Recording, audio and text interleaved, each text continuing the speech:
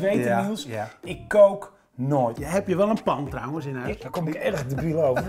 Het is wel erg mals, hè, dit? Ja, dit is boterzacht. Jullie zijn natuurlijk in, eh, in IJsland geweest. Nou, Finland, Zweden. Zweden. Abba komt uit Zweden, niet uit IJsland. Pan en al, nee toch? Ja, pan en al. Laten we hem gewoon even lekker nagaren. Een beetje curryachtig ook. Weet je, ja. Is het ook een bullebak? Wist je dat hij dit allemaal dankzij mij... Dat weten jullie niet. Ruikt wel lekker, hè? Ja, maar dit ziet er toch fantastisch uit? Oh, Dit, dit. Oh, Kees. Niels, dit is echt erg lekker. Hi, ik ben Niels Runderkamp. Slager en barbecue chef uit Volendam. Omdat koken mijn passie is, deel ik mijn kennis natuurlijk graag. Dus ik ga langs bij bekende Nederlanders die mijn hulp goed kunnen gebruiken. Ja, Kees, we hebben het format veranderd. Is dat zo, Niels? Nou ja, het is, normaal is het eh, Niels komt langs, maar Ja. nou is het Kees komt langs. Ja. Nou, ik zou je zeggen, ik heb eh, twee jaar geleden mijn huis een beetje verbouwd. Ja, En ik heb een spliksplinter nieuwe keuken. ja. En die heb ik zo goed als nog nooit aangeraakt. Je moet weten, Ja, Niels, ik kook nooit. Ik heb Maar- wat dat betreft echt twee linkerhanden als het op koken aankomt. Dus ik had zoiets van, als we dan toch lekker gaan koken, laten we het dan doen bij de kenner. Ja. En niet in Ja. mijn, eh in mijn eh, speelgoedkeuken. Heb je wel een pan trouwens in huis? Ik heb wel een pan, ja. Maar heel veel pannen hebben nog nooit bij mij op het gas gestaan. Het is zo- zo'n ding. Een koekenpan. Zo'n ding. Daar kom ik erg debiel over. Wel, Maar nee. wat gaan, we, wat gaan we maken? Ja, nou ja, weet je, ook omdat je het dus gewoon een beetje inspiratieloos was, heb ik voor jou gekozen. Dus ik heb een klein hapje bedacht, echt het- een van de allersimpelste hapjes. Eh, een stukje komkommer met zalm en eh, wat pekelvlees. Ja. En maar daar gaan we natuurlijk wel een sausje bij maken. Als je een mooi stuk vlees wilt bereiden en er zal echt wel ooit een keer een moment komen in jouw leven, bijvoorbeeld met kerst of dat je vrienden overkrijgt, dan weet je dit. Want dit ga je nooit meer vergeten. Nou ja, laten we beginnen. Ja, we gaan vandaag koken voor Kees Tol. En hij wil leren braden. Een stukje rosbief. Dus eh, dan gaan we dat maar even halen. Gaan jullie mee? Ik zei het net al, een lekker fris hapje met komkommer. En dan hebben we nodig een komkommer. Ja, dus dan moet ik wel even naar dat vak met heerlijke vleeswaren. Want ik wil iets met zalm gaan doen, maar ik wil ook gewoon heel graag iets met eh, een pekelvlees bijvoorbeeld. Want dan kunnen we een lekker mosterdsausje daarbij maken. En dan zie ik al iets liggen. Dit is een Amsterdamse originele pekelvlees. Van Hans. Hans, jongen, daar ga je. In het mandje. Ja, ik heb de komkommer, ik heb de vleeswaren. Kunnen we gaan.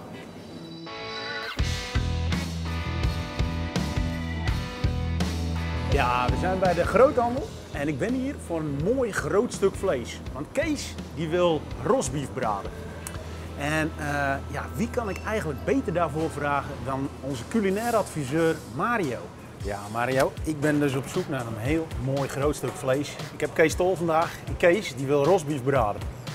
En dan zijn er natuurlijk een aantal opties. Kun jij mij daarbij helpen? Ja, dat klopt helemaal. Eh, super dat je even langskomt. Ja. Eh, ik heb hier eh, diverse rassen en eh, diverse technische delen. De rassen Ja. zijn uh, blonde aquitaine en, eh en limousine rund. Ja. En eh, de technische delen, echt een roastbeef waar jij voor komt. Ik heb hier een ossenhuis liggen. Ja. Daar kan je allemaal roastbeef van maken.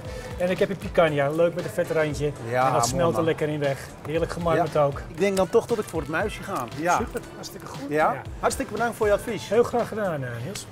Dus wij gaan beginnen met eh, het stuk vlees braden. Ja. Je wilt eigenlijk gewoon echt een bloedhete pan wil je hebben. Het vlees wat we hier hebben, dat heb ik al een half uurtje van tevoren uit de ijskast gehaald. Wat is dit voor stukje vlees? Het is, een, eh, het is eh, een stukje zijlende en het is me verkocht als een stukje muis. Is dit ook het meest malse stukje vlees van Dit de is koe? een van de meest malse stukjes vlees van de koe. Dit wordt als kogelbiefstuk wordt dit verkocht. En dit is fantastisch vlees. Kijk eens even zo. Ja. Het is wel erg mals, hè, dit? Ja, dit is boterzacht. Hier kun je gewoon echt lekkere biefstukjes ook van afsnijden.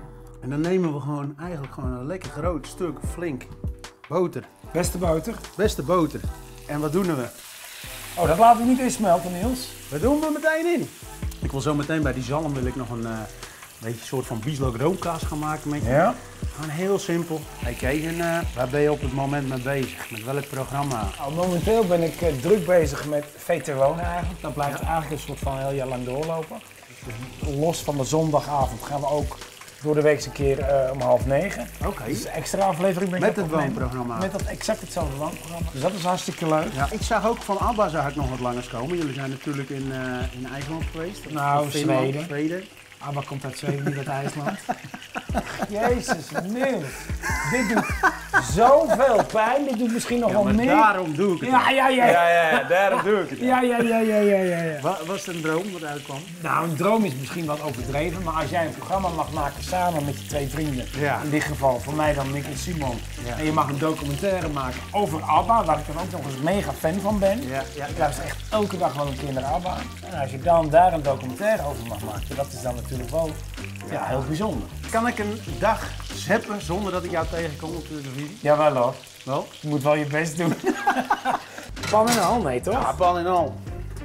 De pan gaat er ook in. Als het past, wel.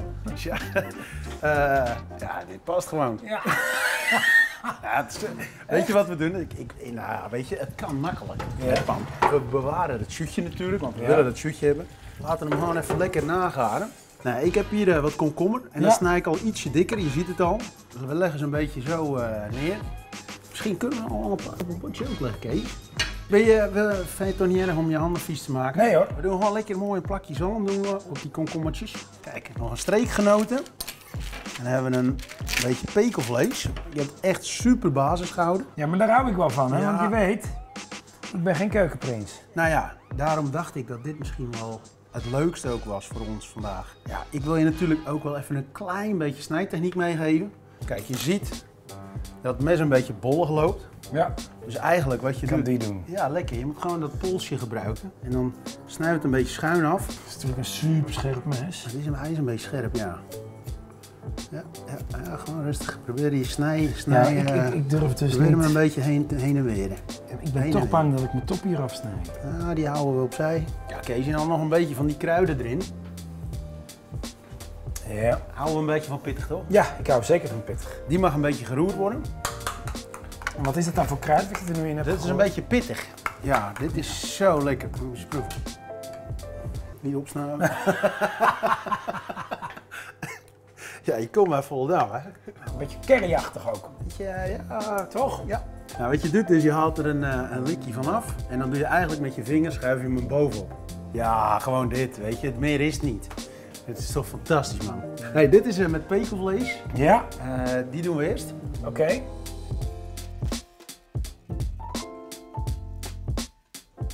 Lekker. Dat is gewoon lekker fris. Ja. Die ook maar doen dan maar even. Dan doen we die ook meteen. Proost, vriend.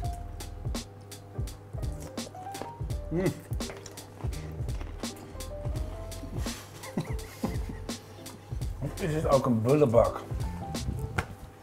Wist je dat hij dit allemaal dankzij mij... Dat weten jullie niet. Nou, doe maar eens even lekker vertellen.